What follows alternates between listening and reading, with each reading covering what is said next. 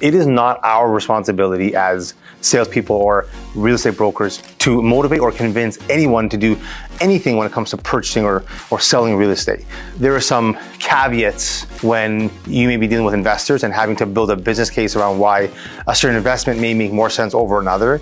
Uh, and there may be times even when in residential real estate when a buyer or a seller has shared with us their criteria and what they need to make a purchase or sale. And it's up to us to kind of keep them on track and make sure that that we're getting them what they want. Sometimes they may fall off track and we're there to keep them in line and, and make sure they're they're kind of focusing on what they wanted originally. But that initial act of buying or selling has to come from them.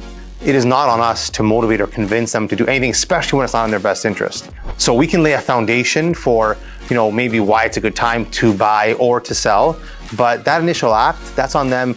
And we're not here to try and persuade or sell them to do anything. We're here to educate them, inform them, and make sure they're, they're in the best position to make the best decision possible when it comes to real estate.